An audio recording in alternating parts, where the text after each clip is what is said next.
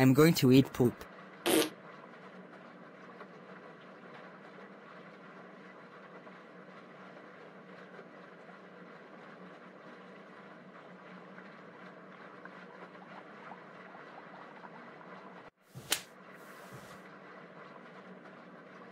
Charlie, how dare you eat poop? You know that eating poop is nasty. You know what? You're grounded for the rest of the week. Go to your room and go to bed right now. Wow.